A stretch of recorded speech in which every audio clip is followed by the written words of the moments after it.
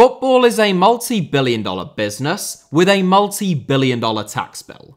The Premier League alone contributes an annual £8 billion to the UK economy and rising, with the league and its clubs having an overall tax bill of roughly half that amount.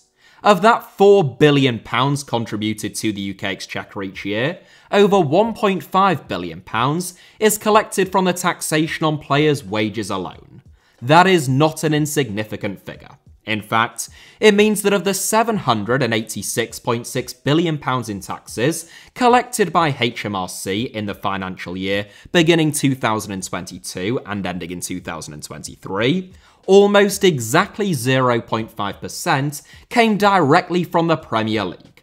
Half a percent might not sound like much, but in the context of the total tax receipts of the country with the sixth largest economy on earth, coming from a single sports league made up of just 20 teams, it is pretty staggering. Amazon, by comparison, paid a total of just £781 million in UK taxes last year, or less than 0.1% of HMRC's total intake. Google paid just £200 million, or 0.025%, and the largest company based in the United Kingdom, Shell, will pay UK tax for the first time in five years this year due to record profits and a so called windfall tax, but the oil and gas giant's corporation tax contribution in the UK will still equate to less than the amount that is paid by Premier League players alone. All in all, then, the Premier League is one of Britain's biggest taxpayers. But does that mean that the league and its clubs are paying their fair share? Well, there are recent reports which claim that the answer to that question is no.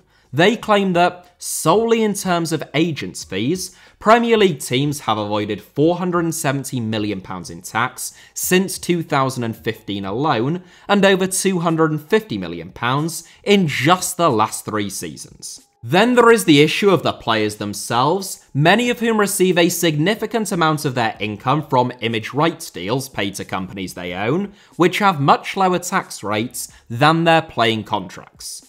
There are a whole host of accusations of players and clubs being paid what ought to be salaried income in the form of image rights payments for no good reason other than lowering their tax burden, and HMRC are actively pursuing a number of these cases. It is a murky world, then, and an ongoing scandal in which clubs, agents, and the Premier League themselves deny any wrongdoing, of course they do, and have lots of rebuttals lined up for any accusations fired in their direction. So in today's video, we're going to take a look at those accusations, the rebuttals, and try to answer the question once and for all of whether English football is a giant criminal enterprise or a cash cow that HMRC is just looking to shake down, and if it's the former, whether a major crisis for the league and its clubs could be on the horizon.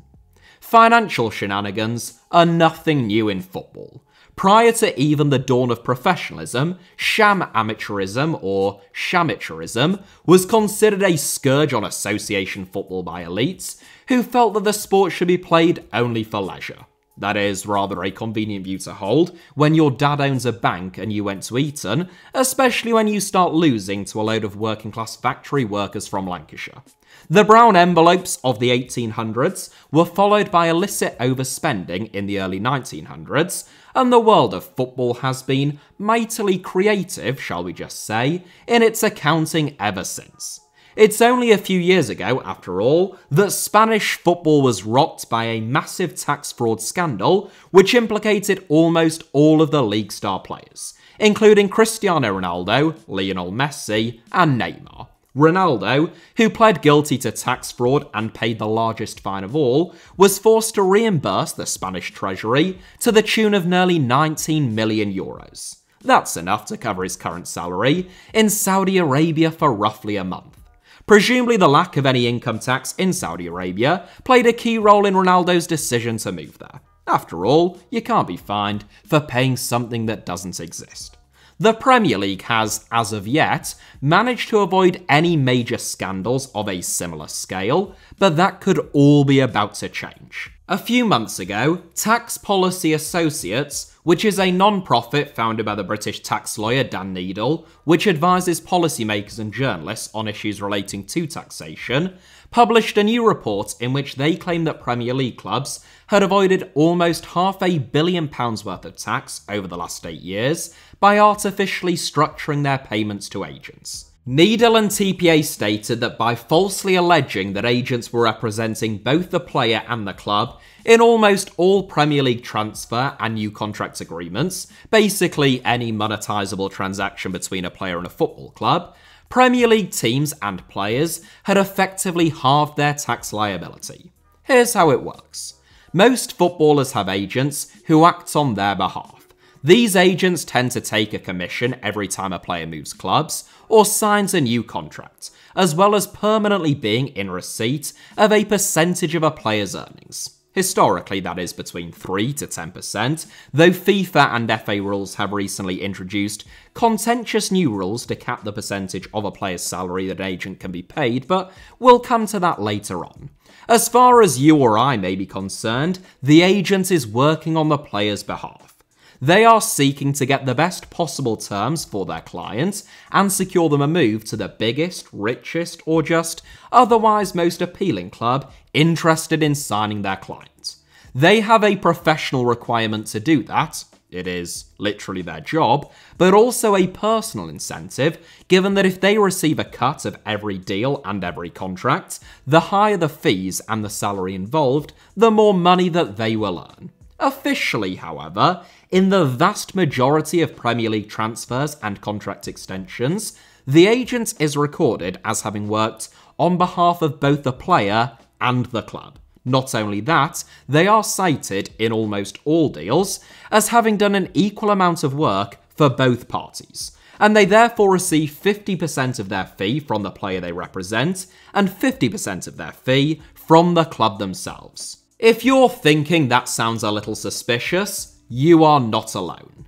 Given the fact that an agent is seeking as much money as possible for their client, and therefore themselves, and a club is looking to pay as little money as possible while still retaining their players or securing their transfer targets, it would appear to present a pretty blatant conflict of interest for anyone to be acting on behalf of both parties in that transaction. According to Neidle and the TPA, the reality is that there is no conflict of interest because the agents don't represent the clubs at all. The whole thing is a sham. They claim that the reason for this 50 50 payment split, which is known as dual representation and is actually semi outlawed by football's authorities, despite the fact that it is so prevalent, is because it halves the amount of tax that is owed on the overall transaction, therefore benefiting all three parties involved. Basically, if an agent's fee were paid solely by the player, as they argue it should, and indeed, as was at one time the norm, it would come out of the player's after tax earnings, sign on fees, and bonuses. Much like if you or I want to pay someone to provide a service for us, let's just say a window cleaner, we would most likely have to pay for that service with our after tax earnings. As far as HMRC is concerned, then, in terms of the fee that is paid to the agent, if that were the case, they would get to tax it twice, once on the player's end and once on the agent's. By claiming dual representation, though, and that they are acting on behalf of both the player and the club, in most instances, agents receive half of their fee from the club, which is only taxed once, and has the even greater tax advantage from the club's perspective, given that they are able to claim VAT back. To give a working example, let's say Luton Town this summer have allocated £1 million in agents' fees that they are willing to spend in order to sign Boulaye Dia from Salernitana. Admittedly, it is an ambitious target for the Hatters, but that's not really the point. If Dia's agent was only paid by him in exchange for representing him and not by Luton, after national insurance and income tax, Dia would receive £534,000 of that initial £1 million with which to pay his agent, but then when he paid his agent, the agent themselves would incur a further £78,000 VAT bill, meaning that of that initial £1 million allocated by Luton Town for the agent, HMRC would receive £612,000 and the agent just £388,000. There will be those of you thinking that seems a little bit harsh. I may even have done the unthinkable there and made you feel sorry for a football agent for the first time in your lives, but you probably ought not. I don't just mean you ought not because even in that example, they have just received a one off payment of nearly £400,000 for facilitating a single transfer, but rather because even if everything was above board, and this is how players, clubs, and agents operated, it would most likely just result in agents negotiating higher fees. Footballers are in high demand, agents often play a key role in where they end up, and clubs are therefore willing to outcompete one another particularly at the top end of the game, e.g., the Premier League. That's why the biggest driver in this whole tax avoidance scheme are the clubs themselves, whose accountants are actually reported to have been in dialogue, or to have collaborated, if you want to use that word, with other Premier League clubs in order to create a system where everyone is at it, in the hope that such ubiquity would give the scheme an air of legitimacy, or, failing that, at least a sense in which it is too big to fail, since any attempt to punish it would require hefty fines and punishments being imposed upon every club in the division. Back to that working example though, now imagine that Luton Town have allocated that same £1 million for Boulaye Dia's agent's fees, but this time the agent is put down as being a dual representative, working on behalf of both the player and the club. Now £500,000 is paid to the player for him to pass on to his agent, so it is taxed in the same way as the first example, and ends up being worth £194,000 in the agent's pocket. But the other £500,000 is paid directly to the agent by Luton Town, who can claim the VAT back, so the agent receives the entire £500,000. In total, therefore, the agent has gone from receiving just £388,000 if they were paid by the player themselves out of their after tax earnings to £694,000 when half of their fee is paid for by the club. That is a loss, if you like, to HMRC of £306,000 on a single transaction, and it is the difference between an effective 62% tax rate and a 30.6% tax rate. You can see then, when almost every club operates on this basis, how the amount of tax that has been avoided, when agents often receive enormous fees, can rapidly start to add up. And TPA claimed their estimates of £250 million over the last three seasons and £470 million since 2015 are highly conservative, and that they suspect the actual figures could be considerably higher. In 2021, FA data revealed that 68% of all Premier League deals involve dual representation. Agents, clubs, and the Premier League themselves, you won't be all that surprised to discover, claim that this is all above board and deny even the implication of any wrongdoing. A Premier League spokesperson commented in response to the report, quote, we believe that the overall figure suggested here is based on assumptions that do not recognise the individual circumstances of each transaction. End quote.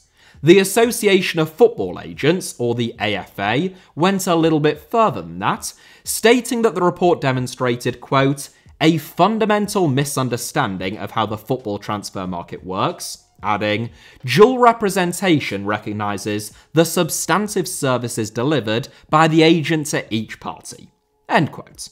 This is a claim that is made by both teams and agents alike. That dual representation is legitimate because the agent is actually providing a valuable service to both the player and the club. They would point to things like assisting with work permits, helping the player settle in at their new club and into their new surroundings, and most notably of all, from the club's perspective, aiding them in their attempt to sign a player ahead of any rivals for his or her signature. Of course, those things do all benefit the clubs, but they primarily benefit the player, who I think any fair minded person would conclude an agent is primarily acting on behalf of, except perhaps in the case of Jorge Mendes at Wolves, who is practically on the club's permanent payroll. Even if you were of the view that, despite all of those things being part and parcel of the role provided to a player by an agent regardless, because it was causally benefiting the clubs, the clubs should therefore pay an agent a fee, it would seem still much harder to justify that fee being 50%, and that's where clubs could find themselves in deep water if HMRC chooses to pursue them. There is a very big legal distinction between tax avoidance and tax evasion. Tax avoidance typically refers to any legal mechanism for reducing a company or an individual's tax liability and could be something as simple as paying into an ISA or a pension. Tax evasion, on the other hand, occurs when you deliberately and dishonestly avoid paying the tax that you are legally obliged to pay. FIFA and the FA actually prohibited dual representation a while back, but with one rather significant exemption. The FA rules on dual representation state, quote, a football agent may only perform football agent services and other services for one party in a transaction, subject to the sole exception in this article. A. Permitted dual representation. A football agent may perform football agent services and other services for an individual and an engaging entity in the same transaction, provided that prior explicit written consent is given by both clients. End quote. This sole exception is in fact the norm, but nonetheless doesn't break any rules. The 50 50 split, on the other hand, well, that just might. Dual representation may be allowed by the FA's exemption clause, but the cut of an agent's fee, that is to say, how much of it is paid by the club and how much by the player, should reflect the amount of work that they have done and the service that they have provided on either party's behalf. By paying a 50 50 split in almost all circumstances, that is very plainly not what is happening. And even in the most extreme cases, it would seem hard to imagine an instance in which a club would legitimately be paying more than a quarter of an agent's overall fee. If, therefore, as quite clearly seems to be the case, clubs are artificially structuring their payments to agents in a deliberately misleading manner, which is a very fancy way of saying that they are lying to HMRC, with the sole purpose of lowering the tax burden for themselves and for the agents, then that is of course illegal. If HMRC were to pursue Premier League teams on account of the misleading structuring of agents' fees, therefore, Neidle concludes, and I would be inclined to agree with him just based upon the available evidence, albeit with much less expertise regarding tax law, they would most likely win. There is precedent for HMRC scrutinising the financial affairs of Premier League clubs and recovering enormous amounts of unpaid tax. Between 2015 and 2022, across all areas of the football industry, HMRC recovered £573 million, more than half a billion pounds, or three quarters of Amazon's total annual UK tax bill that would otherwise have gone unpaid. If HMRC also came after clubs for the improper payment of agents, some clubs would be impacted much more heavily than others. Neidle and the TPA looking solely at the 2020-21 season, in which they estimate a total of £81 million of tax was avoided because of the scheme, found Manchester City and Manchester United to be the biggest offenders, each owing in excess of £10 million for that season alone, followed by Liverpool, Arsenal, Chelsea and, somewhat unsurprisingly, Wolves. Basically, the highest spending clubs, plus the one that is in the pocket of the world's most powerful agents. One criticism of the Tax Policy Associates report that I might be inclined to agree with is that it does seem to illustrate some misunderstandings of football finance. The report states, for example, that because Premier League profits for the previous season were only £479 million, HMRC recovering £470 million from clubs could have, quote, potentially serious consequences for football.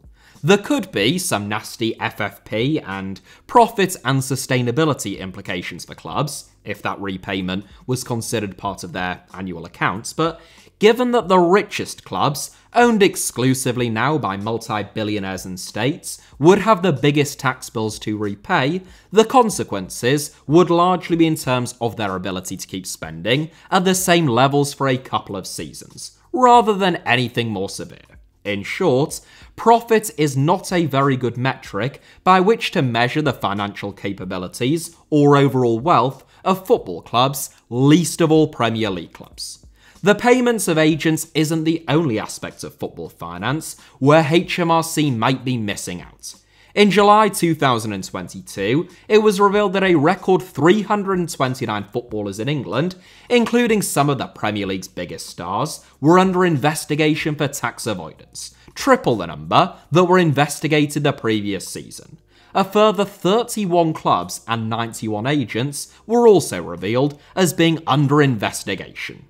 Most of these cases, which primarily concern Premier League players and some of the highest earners in the Championship, relate to image rights payments. Footballers pay an enormous amount of tax when compared to comparatively wealthy people as a whole because they are employees. Most people who earn more than £20 million a year, as someone like Erling Haaland reportedly does at Manchester City, and even those with 50 to 100 times Haaland's overall wealth, make money through their existing and ever expanding capital. So, stocks, property, or private companies, for example. It is called capitalism for a reason. Earnings through those means, which is how most of the rich and super rich accrue and maintain their wealth, is taxed at a much lower rate than earned income, which is how the vast majority of much less wealthy, ordinary working people make a living. Oh, I know, it seems like kind of a scam, but we haven't the time to get into all of that right now. While Erling Haaland pays close to 50% tax on his Manchester City salary, as opposed to under 40% for dividends and 20% for capital gains, when it comes to his image rights, that is to say, his legal rights over his own image, name, likeness, voice, signature, and other personal characteristics, he is able to form a company which, instead of paying individual tax rates, is able to pay business rates. In effect, whilst Haaland pays close to 50% tax on his Manchester City salary, he pays just 19% on his commercial income via his image rights holding company. That is assuming that Haaland's image rights company is domiciled in the United Kingdom. Many Premier League players, particularly foreign ones, form offshore image rights companies, further reducing their tax bill. As with dual representation, there is nothing illegal about doing this, but what HMRC are concerned with is clubs overinflating the value of a player's image rights to them whilst artificially reducing their salaried income so as to, once again, reduce the overall tax burden. In the case of someone like Haaland or Mohamed Salah, clearly their image rights are actually very valuable to Manchester City and Liverpool, but when Championship or obscure bottom half Premier League players are earning a substantial portion of their overall income from their clubs through image rights, that inevitably leads to some suspicion. Even in the case of extremely marketable players, it is of course still possible to inflate the value of what would be legitimately lucrative image rights deals. In 2019, HMRC successfully reclaimed over £400,000 from my club Hull City, not literally my club, just the team I support. I didn't have to pay any of it, owing to the Tigers having paid Geovanni £440,800 into an offshore account between December 2008 and July 2010, which HMRC deemed to be tax avoidance by illegitimate means. Several other clubs have had similar cases found against them, but as with Geovanni's case taking roughly a decade, most of the biggest cases are yet to reach a conclusion and yet to reach the public domain. It's important to note that neither dual representation amongst agents nor seemingly inflated image rights fees paid by clubs are issues that are exclusive to the Premier League. These are practices that are common and, in many cases, are actively being investigated throughout almost all of Europe's top leagues, where the finances involved are high and, inevitably therefore, particularly prominent in the Premier League, which has exerted such financial dominance over every other league in recent years. There are, of course, some much more elaborate stories of teams allegedly cooking the books, so to speak. A report in Der Spiegel, containing information released by Football Leaks in 2018, alleged and appeared to provide evidence that Roberto Mancini had received more money directly from Abu Dhabi than he was paid by Manchester City themselves during his time managing the club. Of course, if true, the primary goal there was to reduce Manchester City's outgoings for profit and sustainability purposes within their own accounts. But there could also have been serious tax implications of interest to HMRC if that claim can be substantiated. Similar accusations have been levelled against Manchester City in relation to payments made to Yaya Toure, which have been denied by the Ivorian's agent, and even stranger yet is the club's relationship with a company owned by Vincent Kompany. Kompany supposedly owns, or did own, a third of a company called Elite Limousines VIP Protection Services Limited, which had a very lucrative contract with Manchester City to ferry around his millionaire teammates. Gary Cook, who is the man believed to have awarded Kompany's company with the contract, which presumably, you know, had nothing to do with Kompany playing for the club, resigned as Manchester City's chief executive in 2011 over claims that he had emailed Nedum Onuoha's cancer suffering mother mocking her illness. In January 2023, he was appointed as the executive president and CEO of the Saudi Professional League. Football really is a cesspit at times, isn't it? Soon after the story about Kompany's, limousine company broke in the news, one of his co owners appeared in court defending multiple charges of employing an unlicensed driver, using a motor vehicle without third party insurance, using a private hire vehicle that was not displaying the correct plate or disc information, and withholding information to obtain motor insurance. Before 2011 was finished, Kompany had seemingly resigned from his role and relinquished his interest in the company. That is a bit of a side issue to the more wholesale schemes of tax avoidance in football, but I thought that you might find it interesting nonetheless. Ultimately, despite the protestations of players, agents, clubs, and the league themselves, there are several cases against all four parties the HMRC would stand a very high probability of winning. None of this is new though. In fact, for a while, it was the case that clubs would pay the entirety of an agent's fee rather than just 50% before seemingly coming to the collective realization that they were pushing their luck a little bit too far and a 50 50 split would be less likely to raise suspicion, investigations, and ultimately prosecution. There is, if you like, an ongoing game of cat and mouse between football and the UK Treasury, where loopholes are exploited and then only semi shut down, in which HMRC has won back several hundred pounds in recent years, but seems reluctant to push too hard. It's likely there are several fights that HMRC could pick with the Premier League and its clubs, perfectly legitimately it should be said, and win. But whether they want to do so as forcibly as they conceivably could, and whether that would be politically expedient, shall we just say, is an entirely different question. The reality is that when it comes to tax avoidance, whilst the Premier League are by no means any saints, footballers themselves are enormous taxpayers and the worst offenders, as the figures that I quoted from Amazon, Google, and Shell in the introduction illustrate, most assuredly are not from the world of football. That is it for today's video, but thank you all very much as of for watching. I hope that you enjoyed it.